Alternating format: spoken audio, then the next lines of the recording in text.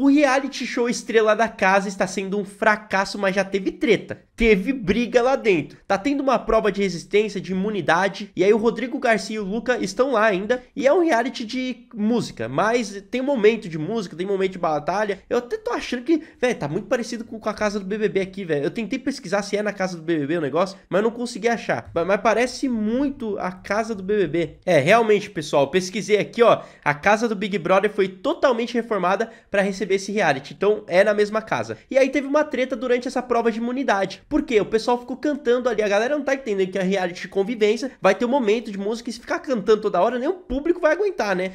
E tanto é que desceu o Ibope pra caramba. Recebeu 26 lá da novela e perdeu, foi para 13 o Ibope pra Globo. Isso é terrível. E aí, é, o pessoal saiu da prova logo no começo e a Nicole já disse: a galera não calava a boca. Aí a MC Maiara respondeu: já estava osso, parecia High School Musical. Não tinha como tu centralizar e fazer resistência. Era todo mundo cantando no pé do teu ouvido. Aí Nick disse: acho que tudo tem limite. Estava começando a me abalar um pouco a cabeça. Estava começando a ficar bolado já. Enfim, então rolou essa tretinha aí para iniciar o reality Estrela da Casa. O Gael, inclusive, disse que se sentiu culpado por essa situação toda, é, pelas pessoas terem desistido da prova porque ele ficou cantando e aí ele se sentiu, sentiu que afetou as pessoas. Enfim, começou assim. Bom, se você está acompanhando o reality Estrela da Casa, me diga aqui porque eu quero saber se eu volto para comentar mais sobre é, esse reality ou não. E aí, muito obrigado então. Vai fazer frente com a Fazenda, hein? Eu acho que a Fazenda ganha desse Estrela da Casa. É claro que é difícil ganhar da Globo, né? Mas enfim. Até uma próxima e tchau.